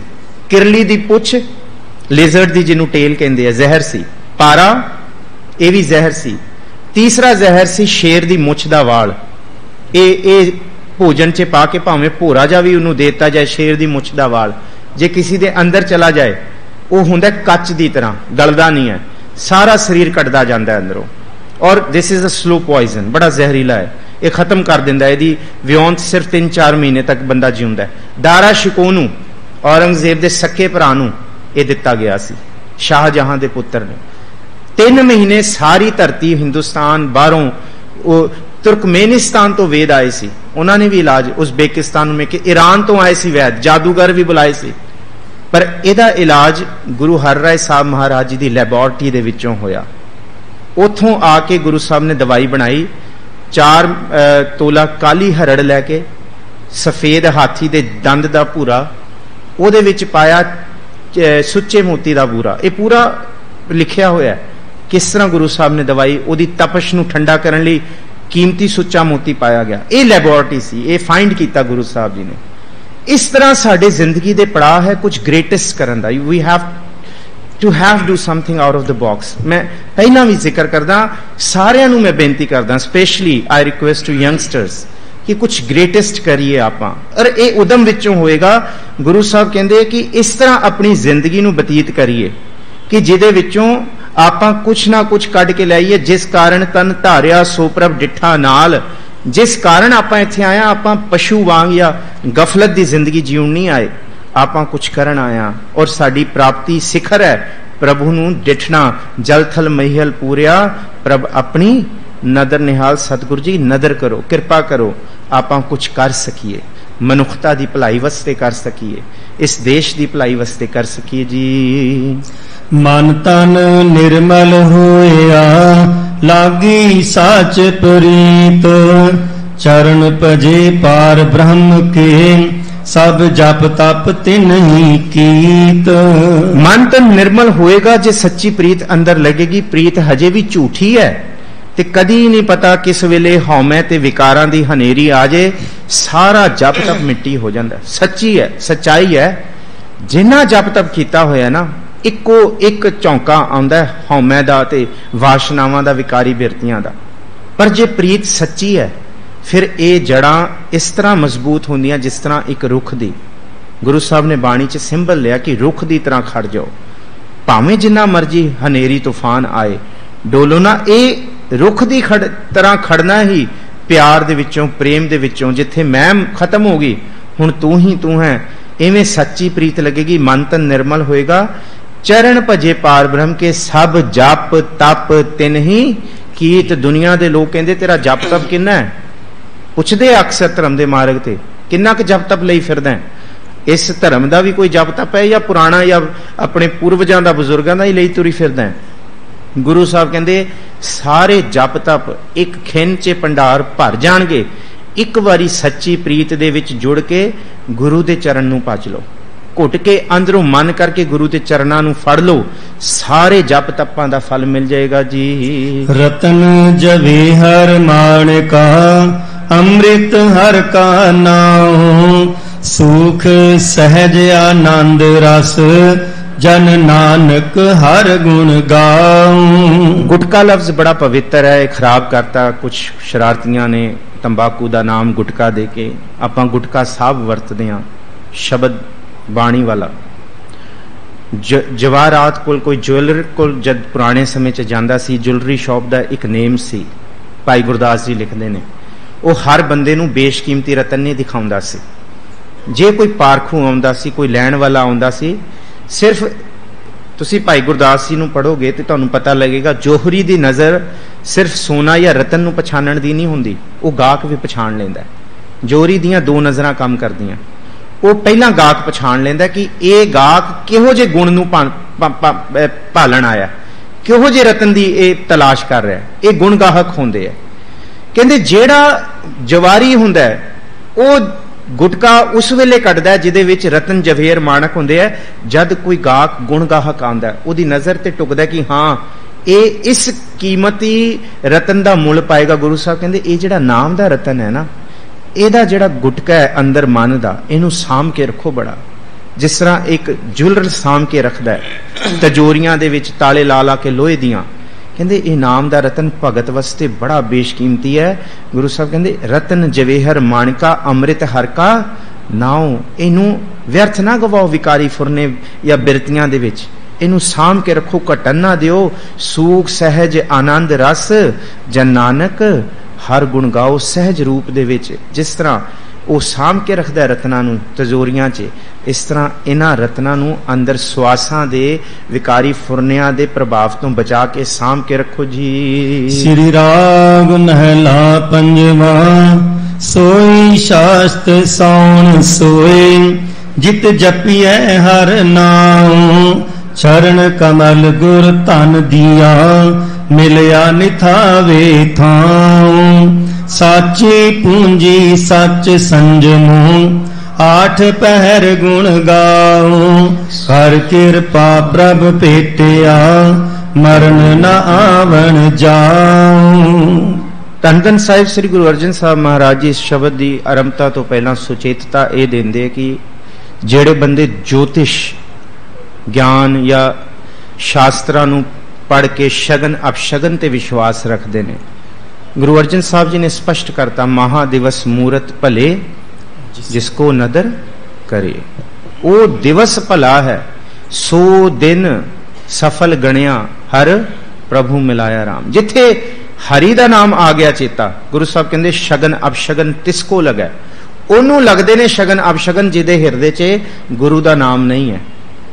ਹੁਣ ਗੁਰੂ ਸਾਹਿਬ, ਗੁਰੂ ਅਰਜਨ ਸਾਹਿਬ ਮਹਾਰਾਜ ਇਹ ਬਖਸ਼ਿਸ਼ ਕਰਦੇ ਆ, ਗੁਰੂ ਸਾਹਿਬ ਕਹਿੰਦੇ ਆ ਕਿ ਸੋਈ ਸ਼ਾਸਤ ਸੌਣ ਸੌਣ ਜਿਹੜਾ ਹੈ ਸੌਣਾ ਇੱਕ ਗ੍ਰੰਥ ਹੈ ਸ਼ਾਸਤਰਾਂ ਦਾ, ਜੋਤਸ਼ੀ ਗ੍ਰੰਥ ਹੈ। ਕਹਿੰਦੇ ਇਹ ਉਹਨਾਂ ਲੋਕਾਂ ਲਈ ਹੈ ਜਿਨ੍ਹਾਂ ਦੇ ਹਿਰਦੇ 'ਚ ਨਾਮ ਨਹੀਂ ਹੈ। ਜਿਨ੍ਹਾਂ ਦੇ ਹਿਰਦੇ 'ਚ ਨਾਮ ਹੈ, ਜਿੱਥੇ ਨਾਮ ਚੇਤਾ ਹੋ ਜੇ, ਗੁਰੂ ਦਾ ਸ਼ਬਦ ਚੇਤਾ ਹੋ ਜੇ, ਕਹਿੰਦੇ ਸਭ ਕੁਝ ਠੀਕ ਹੈ ਫਿਰ। ਸਭ ਕੁਝ ਭਲਾ ਹੈ, ਸਾਰੀਆਂ ਦਿਸ਼ਾਵਾਂ ਭਲੀਆਂ ਨੇ, ਸਾਰੇ ਥਾਂ ਪਵਿੱਤਰ ਨੇ, ਸਾਰੀਆਂ ਧਰਤੀਆਂ ਪਵਿੱਤਰ ਨੇ, ਸਭ ਕੁਝ ਪਵਿੱਤਰ ਹੈ। ਕਹਿੰਦੇ ਇਹ ਕਿਸਮਤਾਂ, ਇਹ ਮੁਕੱਦਰ ਕਹਿੰਦੇ ਸਭ ਉੱਚੇ ਉੱਠ ਗਏ। ਇਹ ਗੁਰੂ ਅਰਜਨ ਸਾਹਿਬ ਬਖਸ਼ਿਸ਼ ਕਰਦੇ ਆ। ਕਹਿੰਦੇ ਕਿ ਸੋਈ ਸ਼ਾਸਤ ਸੌਣ ਸੋਈ। ਕਹਿੰਦੇ ਸਿੱਖਾਂ ਲਈ ਸਾਰਾ ਕੁਝ ਉਹ ਇੱਕੋ ਜਿਹਾ ਜਿੱਤ ਜਪੀਆ ਹਰ ਨਾਉ ਜਿੱਥੇ ਹਰੀ ਦਾ ਨਾਮ ਜਪ ਲਿਆ ਗਿਆ। ਕਹਿੰਦੇ ਸਭ ਕੁਝ ਪਵਿੱਤਰ ਹੋ ਗਿਆ ਜੀ। ਚਰਨ ਕਮਲ ਗੁਰ ਧਨ ਦੀਆ ਮਿਲਿਆ। ਨਿਥਾਵੇਂ ਥਾਉ, ਜਦ ਨਿਥਾਵਾਂ, ਬੰਦਾ ਨਿਥਾਵਾਂ ਮਹਿਸੂਸ ਕਰਦਾ ਹੈ, ਤਾਂ ਸ਼ਾਸਤਰਾਂ ਤੇ ਜੋਤਿਸ਼ਾਂ ਵੱਲ ਭੱਜਦਾ ਹੈ। ਸੁਖ ਵੇਲੇ ਕੋਈ ਨਹੀਂ ਭੱਜਦਾ। ਜਦ ਸੁਖ ਹੁੰਦਾ ਨਾ, ਬੰਦਾ ਵੇਖਦਾ ਵੀ ਨਹੀਂ ਉਹਨਾਂ ਵੱਲ। ਜਿਸ ਵੇਲੇ ਦੁੱਖ ਅਪੜਦਾ ਹੈ, ਜਿਸ ਵੇਲੇ ਕਾਰੋਬਾਰਾਂ 'ਚ ਹੁਣ ਨੁਕਸਾਨ ਝੱਲਣਾ ਸ਼ੁਰੂ ਹੁੰਦਾ ਹੈ, ਫਿਰ ਬੰਦਾ ਉਸ ਵੱਲ ਤੱਕਣਾ ਸ਼ੁਰੂ ਹੋ ਜਾਂਦਾ ਭਾਈ, ਹੁਣ ਕੋਈ ਜਰੀਆ ਦੱਸ, ਕਿਹੜਾ ਪੱਥਰ ਪਾਵਾਂ, ਕਿਹੜੀ ਮੁੰਦਰੀ ਪਾਵਾਂ, ਕਿਹੜਾ ਮੈਂ, ਕਿਹੜੇ ਪਾਸੇ ਦਾ, ਕਿਹੜੇ, ਕਿਹੜਾ ਬਾਥਰੂਮ ਬਣਵਾਵਾਂ ਆਪਣੇ ਘਰ ਦਾ, ਕਿਹੜਾ ਦਿਸ਼ਾ ਕਰਾਵਾਂ, ਇਹ ਦੇਖੋ, ਇਹ ਮਖੌਲ ਵਾਲੀ ਗੱਲ ਨਹੀਂ ਹੈ। ਬਿਲਕੁਲ ਬਹੁਤ ਸਾਡੀ ਇੱਕ ਸਿੱਖ ਕਹਾਉਣ ਵਾਲਿਆਂ ਵਾਸਤੇ ਇੱਕ ਬੜੀ ਦ੍ਰਿੜ ਅਵਸਥਾ ਹੈ। ਜਿਹਨੂੰ ਗੁਰੂ ਤੇ ਵਿਸ਼ਵਾਸ ਹੈ। ਉਹਦੇ ਲਈ ਇਹ ਚੀਜ਼ਾਂ ਬਿਲਕੁਲ ਨਹੀਂ। ਗੁਰੂ ਸਾਹਿਬ ਕਹਿੰਦੇ ਨਿਥਾਵੇਂ ਥਾਉ ਜਿਸ ਵੇਲੇ ਸਿੱਖ ਨਿਥਾਵਾਂ ਹੁੰਦਾ ਇਹਨਾਂ ਕੋਲ ਨਾ ਭੱਜੇ, ਉਹ ਆਪਣੇ ਗੁਰੂ ਕੋਲ ਆਏ। ਗੁਰੂ ਬਖਸ਼ਿਸ਼ ਕਰੇਗਾ। ਗੁਰੂ ਸਾਹਿਬ ਕਹਿੰਦੇ, ਸਾਚੀ ਪੂੰਜੀ ਸੱਚ ਸੰਜਮੋ ਸੰਜਮ ਦੇ ਵਿੱਚ। ਇਹ ਹੈ। ਕਹਿੰਦੇ ਸਬਰ ਇੰਨਾ ਹੋਣਾ ਚਾਹੀਦਾ ਗੁਰੂ, ਠੀਕ ਹੈ 2-4 ਘੜੀ ਦਾ ਨੁਕਸਾਨ ਹੁੰਦਾ ਹੈ, ਦੁੱਖ ਆਉਂਦਾ ਹੈ, ਪਰ ਸੰਜਮ ਰੱਖੋ। ਦੁੱਖ ਦੇ ਵਿੱਚ ਹਮੇਸ਼ਾ ਸੰਜਮ ਰੱਖੋ, ਚਿੱਥੇ ਨਾ ਪਾਓ। ਇਸ ਤਰ੍ਹਾਂ, ਸਬਰ ਮੰਜ ਕਮਾਣੇ, ਸਬਰ ਕਾ ਨਿਹਣੋ, ਸਬਰ ਸੰਦਾ ਬਾਣ, ਖਾਲਕ ਖਤਾ ਨਾ ਕਰੀ। ਸਬਰ ਦਾ ਤੀਰ ਕਮਾਣ ਹੋਏ, ਇੰਨਾ ਮਜ਼ਬੂਤ ਟੁੱਟੇ ਨਾ। ਸਬਰ ਕਾ ਨਿਹਣੋ ਨਿਹਣੋ ਕਹਿੰਦੇ ਡੋਰ ਨੂੰ, ਚਿੱਲਾ ਜਿੰਨੂੰ ਕਹਿੰਦੇ। ਜੇ ਤੀਰ ਕੋਈ ਚਲਾਣਾ ਚਾਹੇ ਸੂਰਮਾ, ਡੋਰ ਹੀ ਕੱਚੀ ਹੈ, ਤੀਰ ਕਿਵੇਂ ਚੱਲੇਗਾ? ਤਿੰਨ ਚੀਜ਼ਾਂ ਸਬਰ ਦੀ ਹੋਣੀਆਂ ਚਾਹੀਦੀਆਂ। ਸਬਰ ਦਾ ਕਮਾਨ ਸਬਰ ਦਾ ਚਿੱਲਾ ਰੱਸਾ ਜਿਹਨੂੰ ਕਹਿੰਦੇ ਤੇ ਸਬਰ ਇਹ ਬਾਣ ਬਾਣ ਵੀ ਸਬਰ ਦਾ ਹੋਣਾ ਚਾਹੀਦਾ, ਜਿਨੇ ਵਿਨਣਾ ਇਹ ਵਿਕਾਰੀ ਬਿਰਤੀਆਂ ਨੂੰ। ਸਬਰ ਮੰਜ ਕਮਾਣੇ, ਸਬਰ ਕਾ ਨਿਹਣੋ ਸਬਰ ਸੰਦਾ ਬਾਣ। ਸੰਦਾ ਕਹਿੰਦੇ, ਬਾਣ ਵੀ ਸਬਰ ਦਾ ਹੋਏ। ਖਾਲਕ ਖਤਾ ਨਾ ਕਰੀ। ਜੇ ਉਸ ਸਬਰ ਨੂੰ ਗੁਰੂ ਕਾ ਸਿੱਖ ਕਮਾ ਲੇਗਾ ਜਦ ਮਾੜਾ ਸਮਾਂ ਟਿਕ ਜਾਏਗਾ ਸਬਰ ਦੇ ਵਿੱਚ, ਸੰਜਮ ਦੇ ਵਿੱਚ। ਗੁਰੂ ਸਾਹਿਬ ਕਹਿੰਦੇ, ਫਿਰ ਜਿਹੜਾ ਬਾਣ ਨਿਕਲੇਗਾ ਨਾ ਗੁਰੂ ਕੀ ਬਖਸ਼ਿਸ਼ ਦਾ, ਕਹਿੰਦੇ ਸਾਰੇ ਦੁੱਖ ਖਤਮ ਕਰਕੇ ਰੱਖ ਦੇਗਾ ਖਾਲਕ ਖਤਾ ਨਾ ਕਰੀ, ਉਹ ਨਿਸ਼ਾਨਾ ਕਦੀ ਨਹੀਂ ਚੁੱਕੇਗਾ।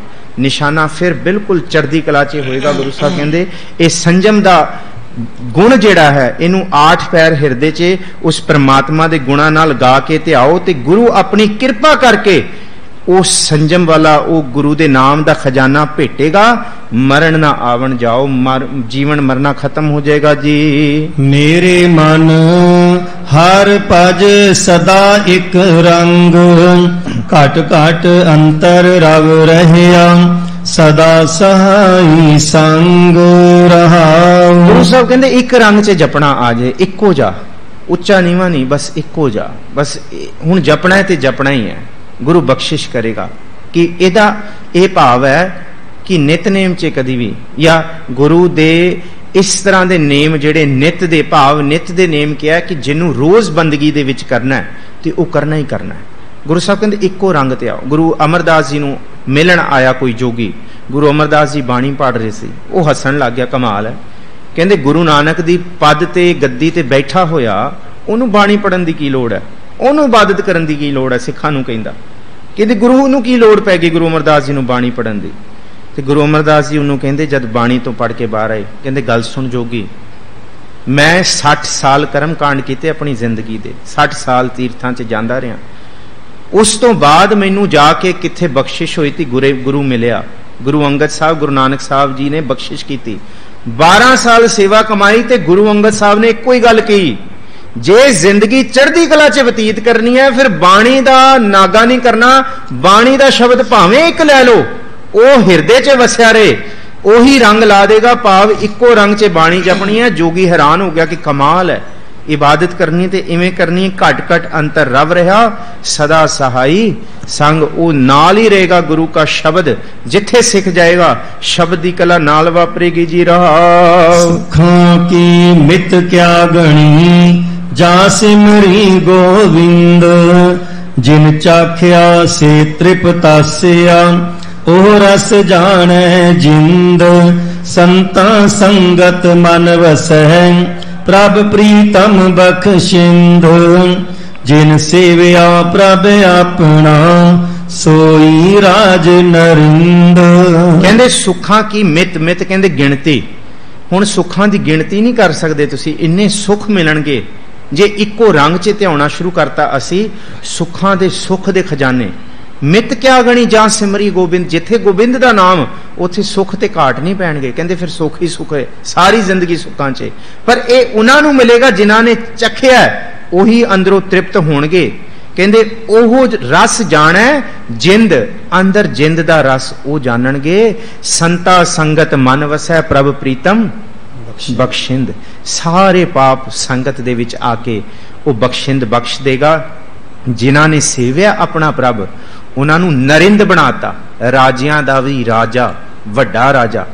ਕਹਿੰਦੇ ਕਿ ਧਰਤੀ ਦਾ ਰਾਜਾ ਜਿਹੜਾ ਬਣਦਾ ਉਹ ਨਰਪਤ ਬਣਦਾ ਕੋਈ, ਰਾਜਾ ਬਣਦਾ ਕਹਿੰਦੇ ਜਿਹੜਾ ਧਰਮੀ ਬਣਦਾ ਹੁੰਦਾ ਹੈ ਨਾ ਉਹਦੇ ਅੱਗੇ ਜਿਹੜਾ ਰਾਜਾ ਵੀ ਹੁੰਦਾ ਉਹ ਵੀ ਸੀਸ ਝੁਕਾਉਂਦਾ ਵੱਡੇ ਵੱਡੇ ਰਾਜਨ, ਭੂਮਨ ਸਭ ਡਰਦੇ ਨੇ ਧਰਮੀ ਬੰਦਿਆਂ ਤੋਂ।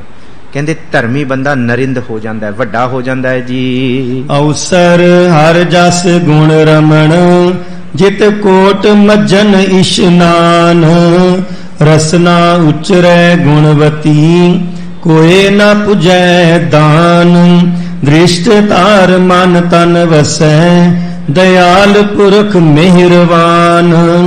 ਜੀਉ ਪਿੰਡ ਤਨ ਤਿਸ ਦਾ ਹਉ ਸਦਾ ਸਦਾ ਕੁਰਬਾਨ। ਕਹਿੰਦੇ ਹੁਣ ਔਸਰ ਤੇ ਜਿਹੜਾ ਸ਼ਗਨ ਅਬਸ਼ਗਨ ਹੈ, ਕਹਿੰਦੇ ਹਰ ਜਸ ਗੁਣ ਰਮਣ। ਜਿਤ, ਕੋਟ, ਮਜਨ, ਇਸ਼ਨਾਨ। ਹਰ ਇੱਕ ਸਾਲ ਦੇ ਵਿੱਚ ਇੱਕ ਸਮਾਂ ਆਉਂਦਾ ਜਿਹੜਾ ਤੀਰਥ ਸਥਾਨਾਂ ਤੇ ਜਾਂਦਾ, ਉਹ ਔਸਰ ਕੱਢਦਾ ਕਿਹੜਾ ਔਸਰ ਹੋਏ? ਗੁਰੂ ਸਾਹਿਬ ਕਹਿੰਦੇ, ਹਰੀ ਦਾ ਜਸ ਹਰ ਵੇਲੇ ਦਾ ਔਸਰ ਹੈ। ਜਦ ਜਪ ਲਿਆ ਕਹਿੰਦੇ, ਉਸੇ ਵੇਲੇ ਸਾਰੇ ਮਜਨ ਹੋ ਜਾਣਗੇ। ਸਾਰੇ ਮਜਨ ਕਹਿੰਦੇ, ਇਸ਼ਨਾਨਾਂ ਨੂੰ, ਮੈਲ ਨੂੰ ਸਾਫ਼ ਕਰਨ ਵਾਲੇ ਮਨ ਦੀ ਰਸਨਾ ਤੋਂ ਗੁਣਵੰਤ, ਗੁਣਵਤੀ ਜਿਹੜਾ ਲਫ਼ਜ਼ ਹੈ, ਗੁਣਾ ਨੂੰ ਵਤਣ ਵਾਲਾ ਜਿਹਦੇ ਨਾ ਸਿਰਫ ਗੱਲਾਂ ਦੇ ਵਿੱਚ ਗੁਣ ਹੋਣ, ਜਿਹਦੀ ਜ਼ਿੰਦਗੀ ਦੇ ਵਿੱਚ ਗੁਣ ਹੋਣ। ਉਹਦੇ ਕਾਰ ਵਿਹਾਰ ਐਥਿਕਸ ਜਿਹਦੇ ਵਰਚੂਸ ਜਿਹਦੀਆਂ ਤੋਰੇ ਫੇਰੇ ਦੇ ਵਿੱਚ ਹੀ ਗੁਣਾ ਦਾ ਝਲਕਾਰਾ ਪੈਂਦਾ ਹੋਏ, ਕਹਿੰਦੇ, ਇਸ ਤਰ੍ਹਾਂ ਗੁਰੂ ਤੋਂ ਕੁਰਬਾਨ ਜਾਓ ਕਿ ਹਾਂ, ਇਸ ਸੱਚੇ ਗੁਰੂ ਦੇ ਵਿੱਚ ਸੱਚੇ ਗੁਣ ਨੇ, ਜੇ ਉਸ ਗੁਣਵੰਤ ਵਾਲੀ ਬਿਰਤੀ ਤੋਂ ਜ਼ਿੰਦਗੀ ਜਿਉਣੀ ਸ਼ੁਰੂ ਕੀਤੀ, ਕੋਈ ਨਾ ਪੂਜੈ ਦਾਨ। ਇਸ ਧਰਤੀ ਤੇ ਭਾਵੇਂ ਕੋਈ ਕਰੋੜਾਂ ਰੁਪਏ ਦਾਨ ਕਰ ਦੇ ਜਿਹੜਾ ਗੁਣਵੰਤ ਹੋ ਕੇ ਨਾਮ ਨੂੰ ਧਿਆ ਲੈਂਦਾ, ਜ਼ਿੰਦਗੀ ਬਤੀਤ ਕਰ ਲੈਂਦਾ ਕਰੋੜਾਂ ਦਾਨਾਂ ਦੇ ਸਿਰ ਤੇ ਦਾਨ ਹੈ। ਕੋਈ ਨਾ, ਉੱਥੇ ਤੱਕ ਕੋਈ ਪਹੁੰਚ ਵੀ ਨਹੀਂ ਸਕਦਾ ਦਾਨੀ। ਦ੍ਰਿਸ਼ਟ ਧਾਰ ਮਨ ਤਨ ਵਸੈ ਦਇਆਲ ਪੁਰਖ। ਮਿਹਰਬਾਨ, ਜਦ ਸਾਹਿਬ ਮਿਹਰਬਾਨ ਹਿਰਦੇ 'ਚ ਵਸੇਗਾ, ਉਹਦੀ ਦ੍ਰਿਸ਼ਟੀ ਪੈ ਗਈ। ਮਨ ਤਨ ਵਸੈ, ਮਨ ਤੇ ਤਨ ਦੇ ਵਿੱਚ ਵਸ ਜਾਏਗਾ। ਫਿਰ ਜੀਉ ਪਿੰਡ ਧਨ ਤਿਸ ਦਾ ਹੋਂ ਸਦਾ ਸਦਾ ਕੁਰਬਾਨ, ਫਿਰ ਮਨ ਦੇ ਵਿੱਚ ਮੈਂ ਵਾਲੀ ਬਿਰਤੀ ਨਹੀਂ ਆਏਗੀ।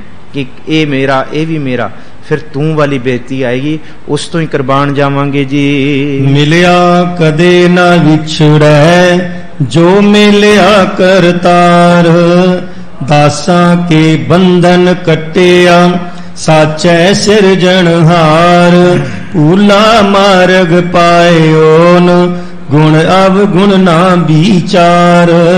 ਨਾਨਕ ਤਿਸ ਸ਼ਰਣਾਗਤੀ ਜੇ ਸਗਲ ਕਟਾ ਆਧਾਰ। ਦੁਨੀਆ ਦੀ ਕੋਈ ਚੀਜ਼ ਮਿਲਦੀ ਹੈ, ਉਹਨੇ ਮਿਲ ਕੇ ਵਿਛੜਨਾ ਹੀ ਵਿਛੜਨਾ ਹੈ। ਇਹ ਸੱਚ ਹੈ। ਪਰ ਜਿਸ ਵੇਲੇ ਪ੍ਰਭੂ ਮਿਲ ਪਿਆ, ਕਰਤਾਰ ਮਿਲ ਗਿਆ, ਫਿਰ ਵਿਛੋੜਾ ਨਹੀਂ ਨਾਨਕ ਗੁਰਮੁਖ ਮਿਲ ਰਹਾ ਹੈ, ਫਿਰ ਵਿਛੋੜਾ ਕਦੇ ਨਾ ਹੋਏ, ਵਿਛੋੜਾ ਹੁੰਦਾ ਹੀ ਨਹੀਂ ਹੈ। ਦਾਸਾਂ ਦੇ ਜਿਹੜੇ ਦਾਸ ਬਣ ਜਾਂਦੇ ਆ ਉਹਨਾਂ ਦੇ ਸਾਰੇ ਬੰਧਨ ਕੱਟੇ ਗਏ ਮਾਇਆ ਦੇ। ਸੱਚੇ ਸਿਰਜਣਹਾਰ ਨੇ ਕਿਰਪਾ ਕਰਤੀ। ਜਿਹੜਾ ਭੂਲਾ ਮਾਰਗ ਸਾਰੀ ਜ਼ਿੰਦਗੀ ਜਨਮਾਂ ਜਨਮਾਂ ਤੋਂ ਗੁਰੂ ਸਾਹਿਬ ਕਹਿੰਦੇ, ਭਾਵੇਂ ਜਿੰਨੇ ਮਰਜ਼ੀ ਪਾਪ ਕਮਾ ਕੇ ਆ ਜਾਏ।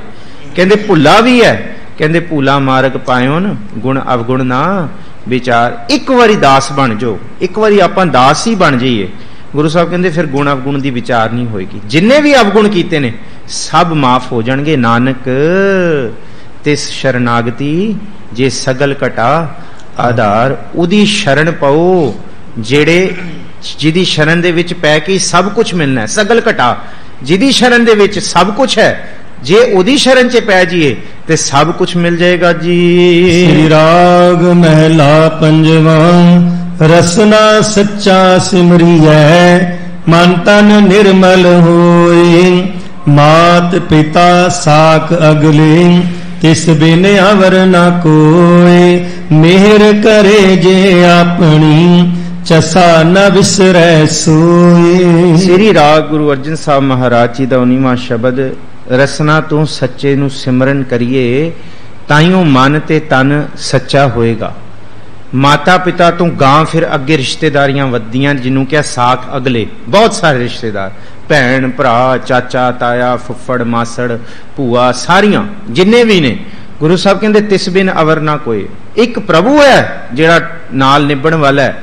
ਇਹ ਚਾਚੇ, ਤਾਏ, ਜਿਹੜੇ ਅਗਲੇ ਗਏ ਹੈ ਨਾ ਗੁਰੂ ਸਾਹਿਬ ਨੇ, ਇਹ ਫੁੱਫੜ, ਮਾਸੜ, ਇਹ ਇਹਨਾਂ, ਇਹ ਇਹ ਹੈ, ਰਿਸ਼ਤੇਦਾਰੀਆਂ ਵਾਧੂ ਜਿਹੜੀਆਂ ਨੇ, ਜਿਨ, ਜਿਹੜਾ ਪਸਾਰਾ ਬੰਦਿਆਂ ਨੇ ਵਧਾਇਆ, ਗੁਰੂ ਸਾਹਿਬ ਕਹਿੰਦੇ, ਜਿਹੜਾ ਸੰਤ ਹੁੰਦਾ ਜਿਹੜਾ ਭਗਤ ਹੁੰਦਾ ਉਹ ਪਸਾਰਾ ਘਟਾਉਣਾ ਸ਼ੁਰੂ ਕਰ ਦਿੰਦਾ ਬਿਲਕੁਲ ਘਟਾ ਦਿੰਦਾ ਇੰਨਾ ਕੁ ਘਟਾ ਦਿੰਦਾ ਕਿਉਂਕਿ ਜੇ ਘਟਾਏਗਾ ਤਾਂ ਤੇ ਆਪਣੀ ਗੱਤ ਲਏਗਾ। ਜਦ ਹਜੇ ਸਾਰਾ ਬਾਹਰ ਦਾ ਹੀ ਖਲਾਰਾ ਪਿਆ ਹੋਇਆ ਅੰਦਰ ਕਦ ਜਾਏਗਾ ਅੰਦਰ ਬੈਠਣਾ, ਕੋਈ ਬੰਦਾ ਕੱਲਾ ਬੈਠਾ ਅਸੀਂ ਭੱਜੇ ਜਾਂਦੇ ਆ ਭਾਈ, ਤੂੰ ਕੱਲਾ ਬੈਠਾ ਕੱਲੇ ਘਰ ਬੈਠੇ ਆ ਕਾਲ ਕਰਦੇ ਆ ਯਾਰ I'm I'm alone I'm I'm feeling isolated ਮੈਂ ਕੱਲਾ ਮਹਿਸੂਸ ਕਰ ਰਿਹਾ, ਆ ਜਾਓ।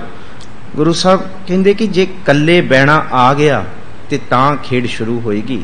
ਤਾਂ ਉਹਦੇ ਨਾਲ, ਤਿਸ ਦੇ ਨਾਲ ਇੱਕ ਬੰਦਾ ਬੈਠਾ ਨਦੀ ਦੇ ਕਿਨਾਰੇ, ਦੂਸਰਾ ਮਿੱਤਰ ਜਾ ਕੇ ਬਹਿ ਗਿਆ। ਕਹਿੰਦਾ, ਮੈਂ ਸੋਚਿਆ ਤੂੰ ਕੱਲਾ ਬੈਠਾ ਕਹਿੰਦਾ, ਮੈਂ ਕੱਲਾ ਨਹੀਂ ਸੀ, ਆਪਣੇ ਨਾਲ ਸੀ।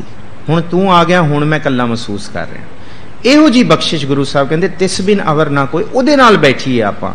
ਮਿਹਰ ਕਰੇ ਜੇ ਆਪਣੀ, ਚਸਾ ਨਾ ਵਿਸਰੈ ਸੋਏ, ਫਿਰ ਪ੍ਰਭੂ ਕਦੀ ਨਹੀਂ ਵਿਸਰੇਗਾ ਜੀ। ਮਨ ਮੇਰੇ, ਸਾਚਾ ਸੇਵ, ਜਿਚਰ ਸਾਸ, ਬਿਨ ਸੱਚੇ ਸਭ ਕੂੜ ਹੈ।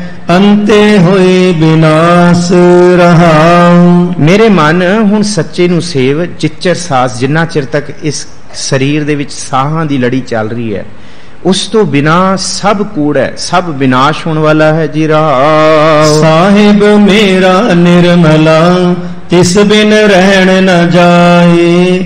ਮੇਰਾ ਮਨ ਤਨ ਭੁਖ ਅਤ ਅਗਲੀ ਕੋਈ ਆਣ ਮਿਲਾਵੇ ਮਾਈ ਚਾਰੇ ਕੁੰਡਾ ਭਾਲੀਆਂ ਸ਼ਹਿ ਬਿਨ ਅਵਰ ਨਾ ਜਾਏ। ਸਾਹਿਬ, ਮੇਰਾ ਇੰਨਾ ਨਿਰਮਲਾ ਹੈ ਕਿ ਜਦ ਉਹ ਹਿਰਦੇ 'ਚ ਅਹਿਸਾਸ ਦੇ ਰੂਪ 'ਚ ਹੀ ਮਾਣਿਆ ਜਾਂਦਾ ਕਿ ਇੰਨਾ ਨਿਰਮਲਾ ਹੈ, ਇੰਨਾ ਪਵਿੱਤਰ ਹੈ, ਇੰਨਾ ਸੱਚ ਰੂਪ 'ਚ ਹੈ।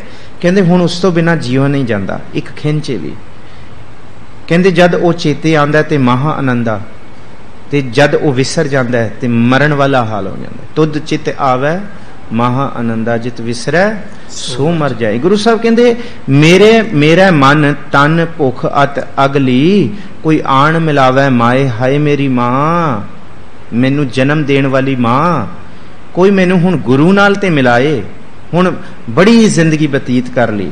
ਚਾਰੇ ਕੁੰਡਾ ਭਾਲੀਆਂ, ਸ਼ਹਿ, ਇਹਨੂੰ ਸ਼ਹਿ ਪੜਨਾ ਸ਼ਹਿ ਤੋਂ ਭਾਵ ਖਸਮ, ਪਤੀ ਵਾਹਿਗੁਰੂ। ਬਿਨ ਅਵਰ ਨਾ ਜਾਏ। ਉਹ ਇਹੋ ਜਿਹਾ ਜਿਹੜਾ ਹਰ ਥਾਂ ਤੇ ਮੌਜੂਦ ਹੈ, ਜਿਹਦੀ ਸ਼ਰਨ 'ਚ ਜਾ ਕੇ ਹੀ ਅੰਤਮ ਸੱਚ ਦਾ ਫੈਸਲਾ ਹੋਣਾ ਜੀ। ਤਿਸ ਆਗੇ ਅਰਦਾਸ ਕਰ, ਜੋ ਮੇਲੇ ਕਰਤਾਰ ਸਤਗੁਰ ਦਾਤਾ ਨਾਮ ਕਾ ਪੂਰਾ ਜਿਸ ਭੰਡਾਰ, ਸਦਾ ਸਦਾ ਸਾਲਾਹੀਐ ਅੰਤ ਨ ਪਾਰਾਵਾਰ। ਬੜੇ ਸੁਖੈਨ ਅਰਥ ਨੇ ਉਹਦੇ ਅੱਗੇ ਅਰਦਾਸ ਕਰੀਏ, ਜੇ ਕਰਤਾਰ ਮਿਲ ਜਾਏ, ਜੇ ਪ੍ਰਭੂ ਮਿਲ ਜਾਏ, ਤੇ ਕਹਿੰਦੇ ਸਤਗੁਰ ਦਾਤਾ ਨਾਮ ਕਾ ਪੂਰਾ ਜਿਸ ਭੰਡਾਰ ਗੁਰੂ ਇਸ ਨਾਮ ਦੇ ਖਜ਼ਾਨੇ ਤੱਕ ਪਹੁੰਚ ਕਰਾਉਣ ਵਾਲਾ ਹੈ। ਜਿਹਦੇ ਜਿਹਦੇ ਭੰਡਾਰ ਭਰੇ ਹੋਏ ਨੇ, ਉਹਨੂੰ ਆਪਾਂ ਸਦਾ ਸਦਾ ਕਿਉਂ ਨਾ ਫਿਰ ਸਲਾਈਏ। ਜਿਹਦਾ ਅੰਤ ਕੋਈ ਵੀ ਨਹੀਂ ਪਾ ਸਕਦਾ ਜੀ। ਪਰਵਦਗਾਰ ਸਾਲਾਹੀਐ ਜਿਸ ਦੇ ਚਲਤੇ ਅਨੇਕ ਸਦਾ ਸਦਾ ਆਰਾਧੀਐ ਏਹਾ ਮਤ ਵਿਸ਼ੇਖ ਮਨ ਤਨ ਮਿੱਠਾ ਤਿਸ ਲੱਗੈ ਜਿਸ ਮਸਤਕ ਨਾਨਕ ਲੇਖ। ਉਸ ਪਰਵਤਗਾਰ ਇਸ ਸ੍ਰਿਸ਼ਟੀ ਦੇ ਮਾਲਕ ਨੂੰ ਕਿਉਂ ਨਾ ਧਿਆਈਏ ਕਿਉਂ ਨਾ ਸਲਾਈਏ? ਜਿਹਦੇ ਚੋਜ ਵੇਖ ਵੇਖ ਕੇ ਮਨ ਹੈਰਾਨ ਹੁੰਦਾ ਹੈ।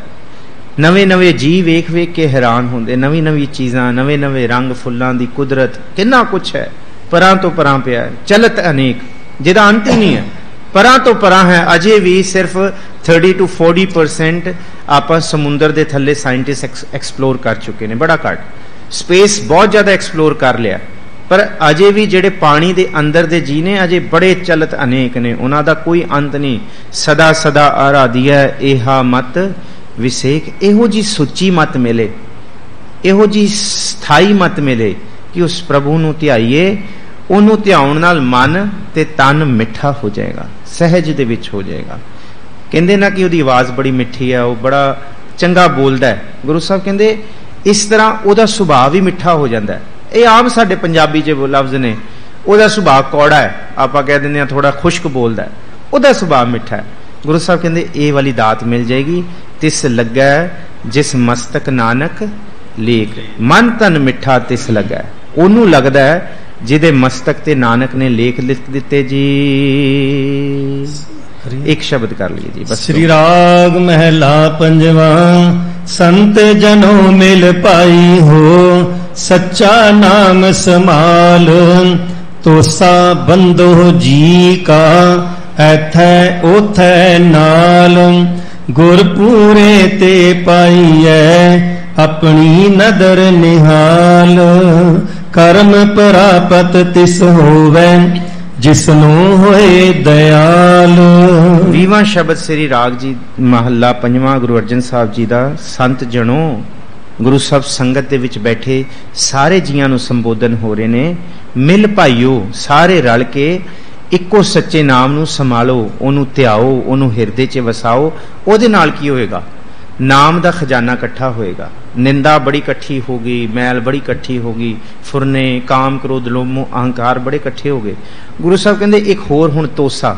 ਤੋਸਾ ਬੜਾ ਪਿਆਰਾ ਲਫ਼ਜ਼ ਹੈ, ਜਦ ਆਪਾਂ ਸਫ਼ਰ ਤੇ ਨਿਕਲਦੇ ਆ ਨਾ ਘਰੋਂ 4-5 ਦਿਨਾਂ ਲਈ ਆਪਾਂ ਇੱਕ ਪੰਡ ਤਿਆਰ ਕਰ ਲੈਨੇ ਆ ਖਾਣ ਪੀਣ ਦੀ ਵੱਖਰੀ, ਜਿਹੜਾ ਨਾਲ ਲੈ ਕੇ ਤੁਰਿਆ ਜਾਂਦਾ ਕਿ ਹਾਂ, ਭੋਜਨ ਚਾਹੀਦਾ ਢਿੱਡ ਨੂੰ, ਕਿ ਹਾਂ, ਪਾਣੀ ਵੀ ਪਾ ਲਿਆ, ਚਿਪਸ ਵੀ ਪਾ ਲੇ ਰਿਫਰੈਸ਼ਮੈਂਟਸ ਕੁਝ ਸਨੈਕਸ ਪਾ ਲੇ ਇਸ ਤਰ੍ਹਾਂ ਇੱਕ ਨਾਮ ਤੋਸਾ ਹੈ। ਨਾਮ ਤੋਸਾ ਕੀ ਕਰਦਾ ਹੈ? ਜ਼ਿੰਦਗੀ ਦੇ ਸਫ਼ਰ ਦੇ ਵਿੱਚ ਕਦੀ ਦੁੱਖ ਆਉਂਦਾ ਹੈ ਨਾ, ਫਿਰ ਉਹ ਸਿੱਖ ਗੁਰੂ ਕਾ ਨਾ, ਜਦ ਵੀ ਕੋਈ ਭੁੱਖ ਆਪੜਦੀ ਹੈ ਇਸ ਸੰਸਾਰ ਦੀ। ਗੁਰੂ ਕਾ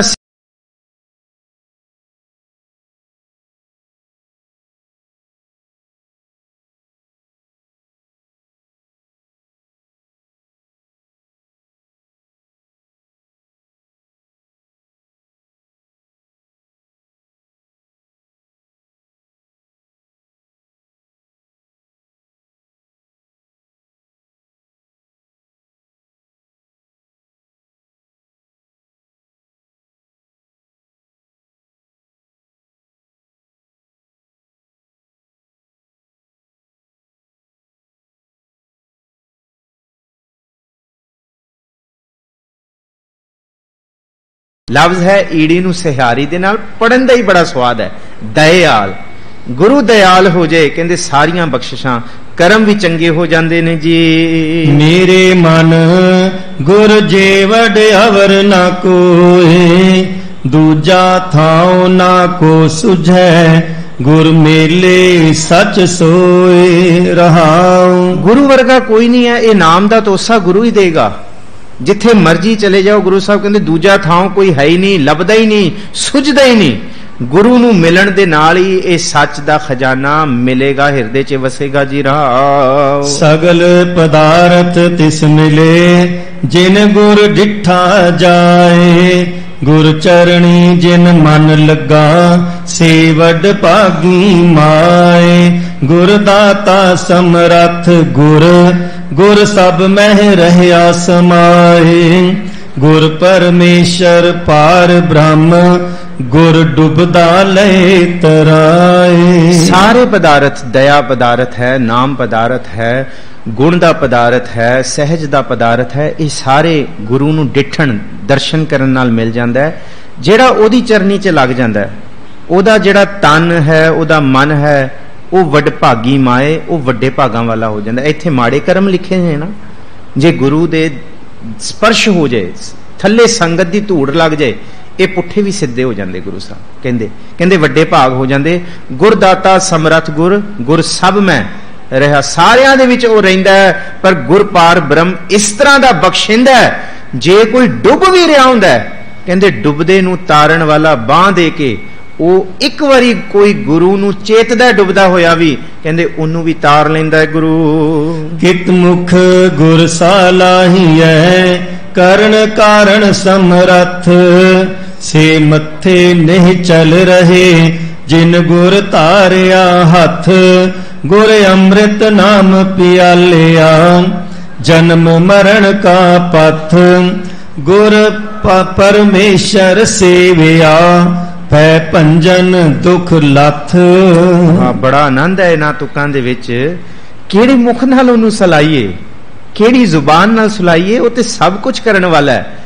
ਨਾ ਵੀ ਸਲਾਈਏ, ਵੱਧ ਵੀ ਸਲਾਈਏ, ਉਹਦਾ ਘਟਣਾ ਵਧਣਾ ਫਿਰ ਵੀ ਨਹੀਂ, ਇਹ ਤੇ ਸਾਡੇ ਲਈ ਹੈ ਸਲਾਉਣਾ। ਕਿੱਥੇ ਸਾਡੇ ਤੇ ਬਖਸ਼ਿਸ਼ ਹੋ ਜਾਏ, ਸੇ ਮੱਥੇ। ਗੁਰੂ ਸਾਹਿਬ ਕਹਿੰਦੇ, ਉਹਨਾਂ ਦੇ ਮੱਥੇ ਕਹਿੰਦੇ ਨਿਹਚਲ। ਕਹਿੰਦੇ ਟਿਕੇ ਰਹਿੰਦੇ ਸਿੱਧਾ।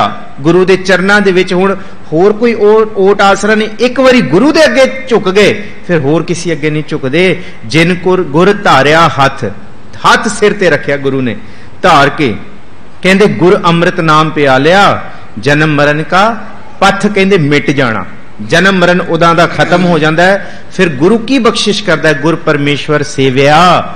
ਉਹਨੂੰ ਸੇਵਣ ਦੇ ਨਾਲ ਭੈ ਭੰਜਨ ਨਸ਼ਟ ਹੋ ਜਾਂਦੇ ਐ ਸਾਰੇ ਦੁੱਖ ਤੇ ਪਾਪ ਲੱਥ ਜਾਂਦੇ ਜੀ। ਸਤਗੁਰ ਗਹਿਰ ਗੰਭੀਰ ਹੈ। ਸੁਖ ਸਾਗਰ ਅਗ ਖੰਡ ਜਿਨ ਗੁਰ ਸੇਵਿਆ ਆਪਣਾ ਜਮਦੂਤ ਨਾ ਲਾਗੈ ਡੰਡ, ਗੁਰ ਨਾਲ ਤੁਲ ਨਾ ਲਗਈ, ਖੋਜ ਡਿਠਾ ਬ੍ਰਹਮੰਡ।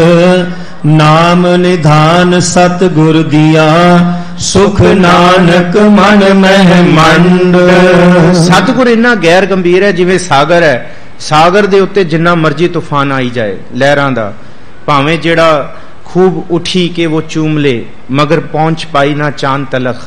ਕੋਈ ਲੌਟਾ ਦੇ ਮੇਰਾ ਬਚਪਨਾ ਫਿਰ ਸੇ ਖਾਦਮ ਰਹੂੰਗਾ ਜੀਉਂਗਾ ਮੈਂ ਜਬ ਤਲਕ ਇਹ ਸ਼ੇਰ ਹੈ ਪਿਆਰਾ ਸਿੰਘ ਪਦਮ ਦਾ ਕਹਿੰਦੇ ਜਿਸ ਵੇਲੇ ਪੂਰਨਮਾਸ਼ੀ ਦੀ ਰਾਤ ਹੁੰਦੀ ਹੈ ਨਾ ਲਹਿਰਾਂ ਉੱਚੀਆਂ ਉੱਠਦੀਆਂ ਚੰਦ ਦੇ ਵੱਲ ਪਰ ਜਿਹੜਾ ਸਮੁੰਦਰ ਹੁੰਦਾ ਥੱਲੋਂ ਗੰਭੀਰ ਰਹਿੰਦਾ ਬਿਲਕੁਲ ਗੰਭੀਰ ਰਹਿੰਦਾ ਕਹਿੰਦੇ ਗੁਰੂ ਦਾ ਇਹ ਸੁਭਾਅ ਹੈ ਜਿਹੋ ਜੇ ਮਰਜ਼ੀ ਸਮਾ ਹੋਏ ਗੁਰੂ ਦਾ ਸਿੱਖ ਵੀ ਫਿਰ ਗੈਰ ਗੰਭੀਰ ਹੋ ਜਾਂਦਾ ਹੈ ਜਿਨੇ ਜਿਨ੍ਹਾਂ ਨੇ ਗੁਰੂ ਨੂੰ ਸੇਵ ਲਿਆ ਉਹਨਾਂ ਨੇ ਜੰਮ ਦੇ ਡੰਡਿਆਂ ਤੋਂ ਖੇੜਾ ਛੁਡਾ ਲਿਆ ਭਾਵ, ਜਿਹੜਾ ਜੰਮ ਦਾ ਡੰਡਾ ਅੱਧੀ ਰਾਤੀ ਵੀ ਸੁਪਨਿਆਂ ਦੇ ਵਿੱਚ ਵੀ ਤੰਗ ਕਰਦੇ, ਇਹ ਵਿਕਾਰੀਆਂ ਬਿਰਤੀਆਂ।